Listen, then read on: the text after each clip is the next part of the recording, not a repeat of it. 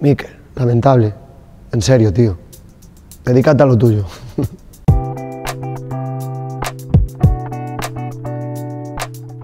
Mi abuelo era boxeador y, y de ahí saqué esa pasión. Cuando era pequeño, descubrí el mundo de la lucha, era mi sitio. Tuve un par de pruebas de fuego luchando y me di cuenta de que, podía hacer cosas y, y tiré para adelante. En el Bierzo acabé porque me presentaron a Diego, Diego eh, me dijo que vendría aquí, me dio oportunidades y yo tiré para adelante y él ha confiado en mí y hasta ahora mismo. Eh, al final eh, yo diría que, que acabar en el Bierzo ha sido Diego, la palabra Diego sería. Casi una década fuera de mi casa, sin ver casi a mis amigos, sacrificar todo.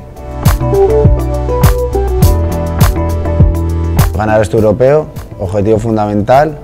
Luego los campeonatos de España, te- tercera vez consecutiva que ganaría los campeonatos de España, élite. Luego, si la selección me seleccionaría para ir otra vez a los mundiales y los europeos, eh, pues encantadísimo. Y firmar por una gran liga como el One o el Lion Fights, esos serían mis objetivos.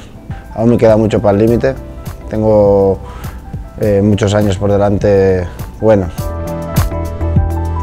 Una pelea dura eh, contra un buen rival, pero son los retos que yo quiero coger.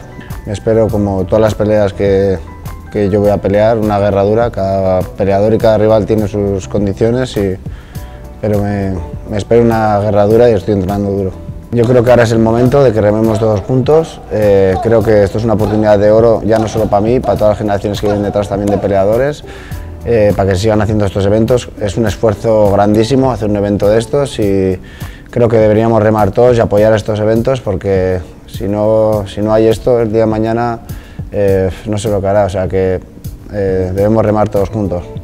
¡Oh! ¡Eh!